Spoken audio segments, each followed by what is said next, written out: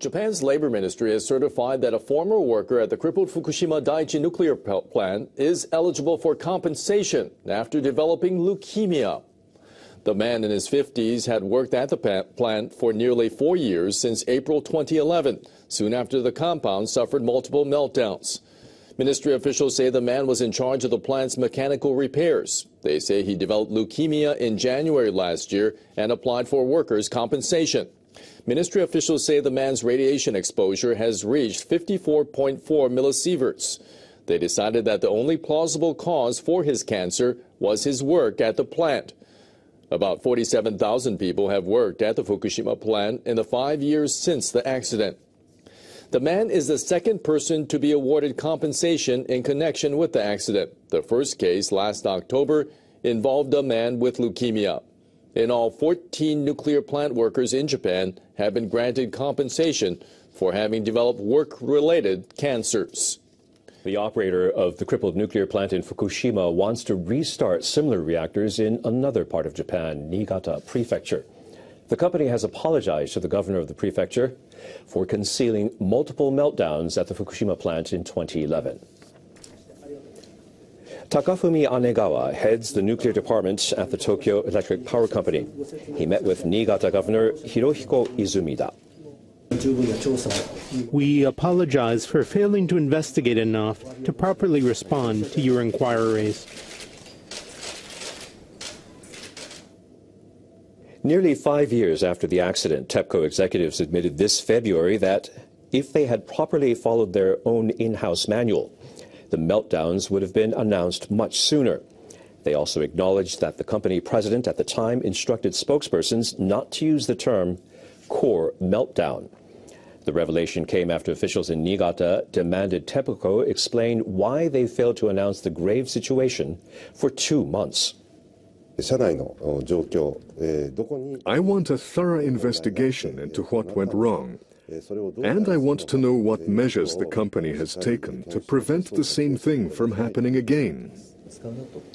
Governor Izumida says a full investigation is needed before negotiations can proceed on whether to allow a nuclear plant to restart in his prefecture. The recent powerful quakes in southwestern Japan are a reminder of how the country remains exposed to natural disasters, with nearly 100 major active faults nationwide. Seismic experts are about to change the way they tell people how dangerous each fault is. Currently, members of a government task force give the probability of the active faults triggering an earthquake within the next 30 years. But these figures tend to be small because such quakes usually occur over a span of thousands of years. The fault thought to have caused the Kumamoto quake was just 0 to 0.9%. Some say such low numbers create a false sense of security. The experts are now planning to rank the faults on a new four-level scale that uses letters instead of numbers. S will mean the probability of the fault triggering a quake within 30 years is quite high, greater than 3%. A will stand for a range of between 0.1 and 3%. The rank of Z will signify a probability of less than 0.1%. Finally, X will be used when the probability of a quake occurring is unclear but cannot be ruled out. The members say that under the new system, about one third of the country's 97 faults will be ranked S, the highest level of threat.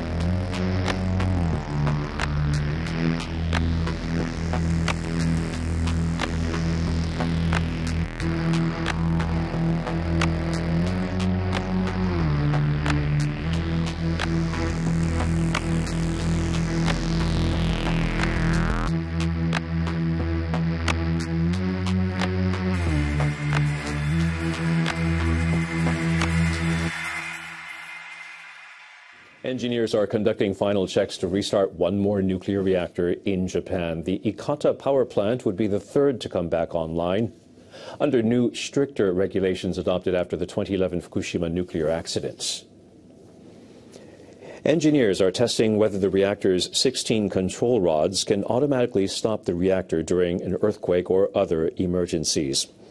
Inspectors from the Nuclear Regulation Authority are observing the test.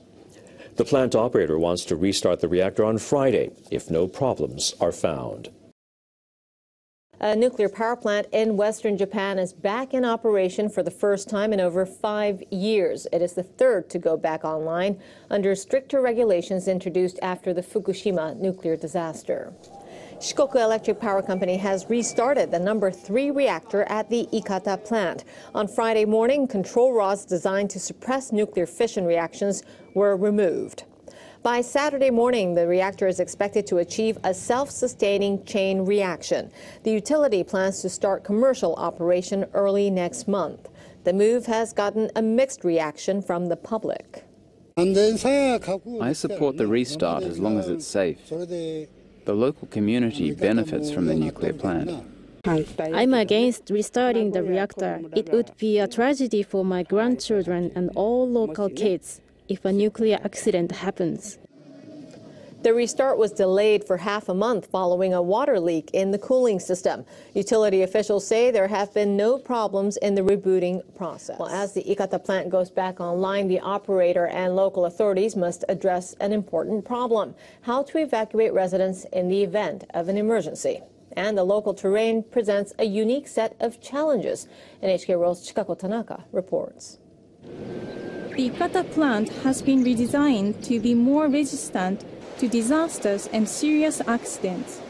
It includes a new command center and reinforced piping systems. The operator says the plant is now able to withstand even major earthquakes. But questions remain about the evacuation plan. About 5,000 people live on the peninsula where the plant is located. They may not be able to evacuate by land after a nuclear accident. So local officials drew up plans to take them to a neighboring prefecture by boat. They held a drill last November. But they also have to take another factor into account. The Ikata plant is just 8 kilometers from an active fault. When a fault in the region moved earlier this year, it caused massive earthquakes and mudslides in nearby Kumamoto Prefecture. A powerful earthquake could set off the same kinds of mudslides in Ikata town, cutting off roads and interfering with operations at the local port. The current evacuation plan calls on residents stranded on the peninsula to evacuate to designated shelters near their homes. Many of the shelters are schools and other public facilities. Their concrete walls provide some protection against the effects of radiation, and the structures have been reinforced against earthquakes. But this shelter is located right in front of a steep hill in a landslide alert zone. The area is vulnerable to mudslides and rock slides. Buildings here could be declared off limits following a quake or heavy rain. Saburo Yamashita lives near the shelter with his elderly mother. She can't travel very far on foot, so Yamashita was counting on being able to use the nearby building.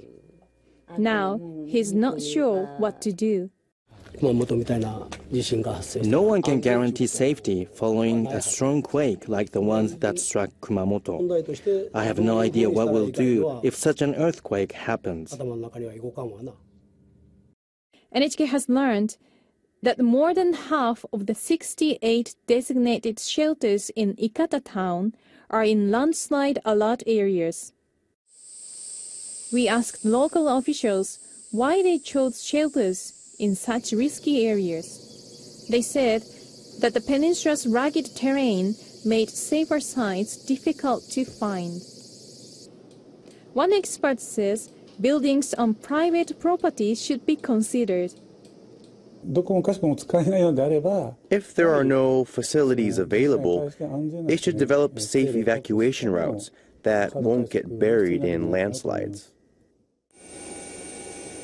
As officials refine their evacuation strategy, people in the area will continue to hope for the best and plan for the worst. Chikako Tanaka, NHK World, Tokyo. Kagoshima Prefecture's new governor on Friday will ask the operator of a nuclear power plant in the prefecture to suspend operation so safety can be re-evaluated. The two reactors in southwestern Japan went online last year, the first under new regulations imposed by the government. Satoshi Mitazono took office last month. During the election, he promised he would take the plant offline temporarily to double-check safety. Residents have been uneasy since April when damaging earthquakes hit neighboring Kumamoto Prefecture. After taking office, Mitazono visited the Sendai plant to study evacuation measures in the event of an emergency. Mitazono will ask the utility to openly keep the public informed in the event of an accident and promote renewable energy. Kyushu Electric Power had already planned to take the reactors offline for regular inspections that start in fall and winter of this year. As governors have no legal authority to shut down reactors, observers are keen to see how the nuclear operator will react to Mitazono's request. Japan's nuclear regulator says an aging reactor on the Sea of Japan coast has basically met its requirements to remain in operation. This is the second time the Nuclear Regulation Authority has reached such a decision. Kansai Electric Power Company applied last year for permission to allow the Mihama No. 3 reactor to continue operating for another 20 years. The reactor in Fukui Prefecture will be 40 years old this December, the age limit set by the government. Officials at the Nuclear Regulation Authority on Wednesday unanimously agreed on a draft certification of the utility's safety measures. The officials say the measures meet the new requirements set after the accident at the Fukushima Daiichi nuclear plant in 2011. The regulator will begin seeking public input for one month starting Thursday before formally endorsing the documents of certification. The reactor facilities will then be checked in detail for quake resistance and degree of aging. The deadline for final permission is the end of November. Japan's nuclear regulator will change its inspection procedures for nuclear power plants. This will allow tests to be conducted without giving operators any notice. The change follows a recommendation from the International Atomic Energy Agency in January. The Nuclear Regulation Authority presented a draft for the reform plan at its meeting. The plan would allow officials greater flexibility, giving inspectors the ability to check a wider range of safety issues at plants. They would also be able to conduct surprise inspections. Currently, they are pre-scheduled. The change would allow inspectors to focus on perceived trouble spots and high-risk items based on information received beforehand. The Nuclear Authority says these changes will take effect in 2020. Japan's nuclear regulator has discovered another maintenance irregularity at an experimental power plant. The authority found that workers did not follow procedure when an alarm went off at a storage pool for spent nuclear fuel. The incident occurred last November at the Monju fast breed reactor prototype in Fukui Prefecture, central Japan. The reactor is currently offline. The alarm indicated that water inside the storage pool had become dirty. The operation manual says when the alarm sounds, workers must replace ion exchange resin in the water purification system. But the resin wasn't in the system in the first place, and workers didn't add it until May this year. Last year, the authorities said the Japan Atomic Energy Agency was unfit to continue operating the facility where nearly 10,000 safety oversights had been discovered. We have to say that the operator has little understanding of the concept of safety first. The operator said the alarm is not considered urgent as water quality sensors at the plant were more sensitive than the standard.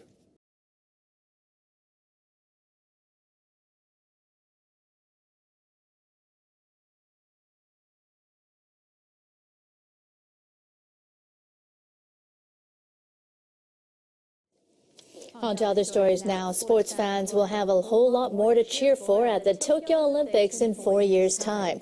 The International Olympic Committee has approved five sports to be added to the Tokyo 2020 Games.